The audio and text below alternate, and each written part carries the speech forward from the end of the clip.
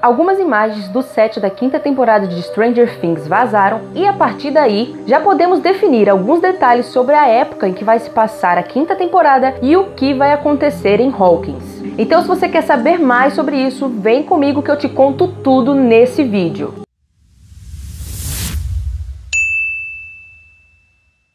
Oi, gente, eu sou a Rafa, seja muito bem-vindo ao canal. As filmagens da quinta temporada de Stranger Things ainda não se iniciaram, mas isso já está bem perto de acontecer e há até mesmo rumores de que as gravações vão se iniciar no dia 8 de janeiro de 2024. E é exatamente por isso que os sets já estão sendo construídos e preparados a todo vapor. E vocês sabem como é, sempre tem alguém que tenta dar uma xeretada para tentar descobrir alguma coisa que está rolando. E parece que alguém conseguiu tirar duas fotos bem interessantes lá no set de filmagens em Atlanta, na escola georgiana que é usada para gravações de cenas que acontecem na escola de Hawkins. As duas fotos que foram tiradas nesse set são de quadros. Sabe aqueles quadros de avisos que ficam nos corredores de escolas? Então, esses quadros estão nos corredores lá da escola de Hawkins. E essas duas fotos revelam algumas informações bem importantes. Então, vamos com calma. Em primeiro lugar, nessa primeira imagem é possível ver claramente uma árvore de Natal e também está escrito Annual Holiday, que se refere a um feriado, geralmente ao Natal. Além disso, também está escrito: Sabemos que os tempos estão difíceis para todos em Hawkins,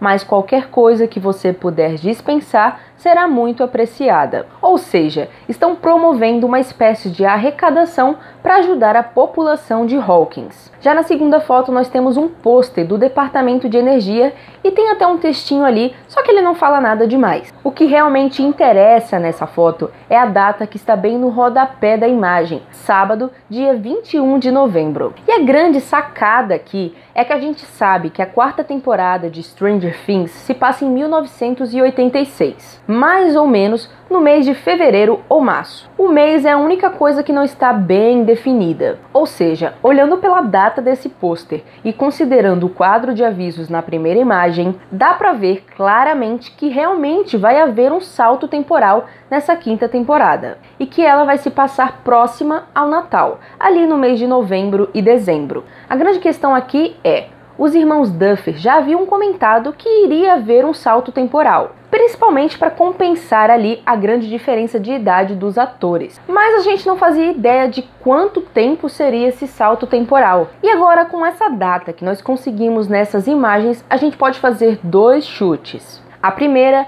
é que o salto temporal que vai ocorrer nessa temporada vai ser de mais ou menos uns 8 ou 9 meses porque, como eu disse, a quarta temporada se passa lá para fevereiro ou março. Porém, se você procurar no calendário a data de 21 de novembro de 1986, não é um sábado, e sim uma sexta-feira. Então essas datas não estão batendo. Mas já no ano de 1987, o dia 21 de novembro cai exatamente num sábado. Portanto, isso pode indicar que se eles foram precisos nas datas e chegaram a conferir o calendário certinho, o salto temporal já seria de mais de um ano.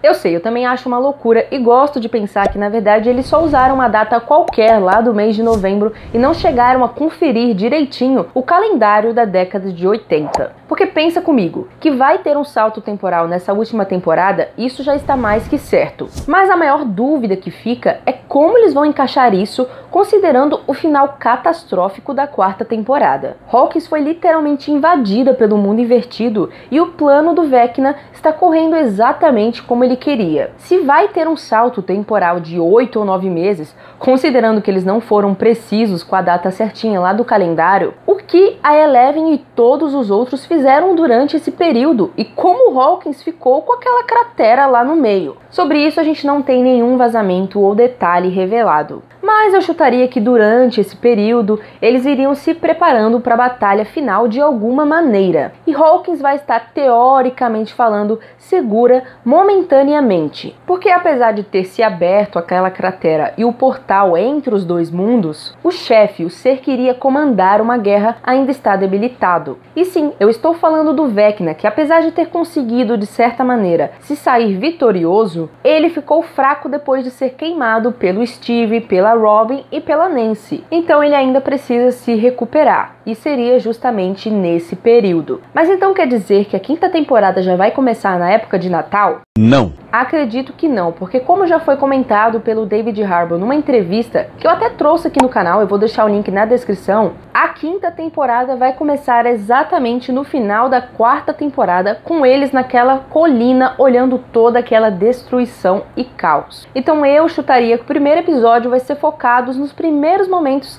depois do final da quarta temporada mostrando como eles vão reagir a tudo que aconteceu e que está acontecendo. E depois, lá para o segundo ou terceiro episódio, vai haver esse salto temporal.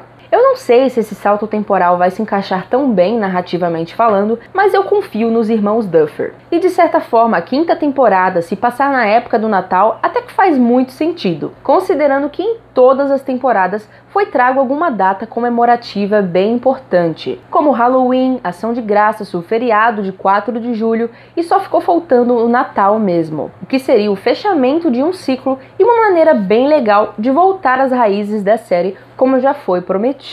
Afinal de contas, quem não se lembra da memorável cena da Joyce se comunicando com Will por meio das luzinhas de Natal? Uma outra coisa que eu queria comentar aqui com vocês é que eu não duvido nada que a quinta temporada também seja lançada na época do Natal, lá em 2025. Será? Eu sei que é horrível pensar que falta tanto tempo para vermos a série, mas considerando todos os detalhes que vão saindo, tudo indica que vai ser só em 2025 mesmo. O próprio ator Finn Wolfhard que faz o Mike já soltou numa entrevista que a quinta temporada só vai sair quando ele tiver 22 anos, ou seja, em 2025. As gravações, pelo que parecem, se iniciam no começo do ano que vem, e pelo que já foi comentado pelo próprio David Harbour, pode durar até um ano. E depois ainda tem a pós-produção, o marketing, enfim, muitas coisas. Então, pensando por aí, por que, que eles não podem fazer a graça de lançar essa quinta temporada na época do Natal também? Para combinar até com o clima da série e quem sabe até no dia 6 de novembro,